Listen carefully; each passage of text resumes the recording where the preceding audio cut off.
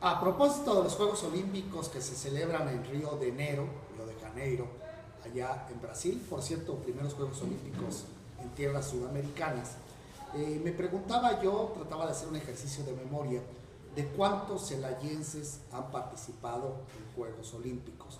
Por ahí alguna persona, de manera totalmente errónea y equivocada, decía que nuestra querida y admirada Liliana Ibáñez era la primera celayense en participar en Juegos Olímpicos. No, señores, eh, afortunadamente hay una historia, hay documentación que avala que ya otros celayenses han ido a la máxima justa olímpica. A una justa que en sus orígenes fue amateur y ahora es totalmente ya prácticamente profesional. Si nos remontamos un poco a la historia, yo hablaría del general David Bárcenas del Río, un hombre nacido en estas tierras, actualmente arreciado en Chihuahua, y él fue a la friolera de cinco Juegos Olímpicos, desde Tokio en 1964, pasando por México, Múnich, Montreal y Moscú 1980. Y en Moscú 1980 alcanzó el máximo logro alcanzó una presea de bronce junto con el equipo de equitación en la prueba denominada de los tres días. Eh, no ha sido el único, no ha sido el único celayense que ha estado en una justa olímpica. Es justo mencionar también, eh, yo lo conocí siendo muy jovencito, y así muy jovencito fue a sus Juegos Olímpicos en Moscú. Me estoy refiriendo a Celestino el Moscovita Molina este pequeño gorilita, como le llaman a los boxeadores, pues no corrió con mucha suerte. En la primera pelea, ustedes saben que ahí es eliminatoria directa, la primera pelea sucumbió, sin embargo le cabe el orgullo de haber representado a México y específicamente ser un celayense.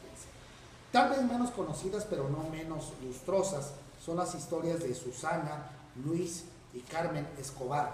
Ellos, celayenses de cepa, participaron en Juegos Olímpicos, Luis en la denominada eh, prueba de aguas abiertas, es decir, en el pleno mar, estar ahí nadando, una prueba de resistencia, una prueba que implica también mucha técnica.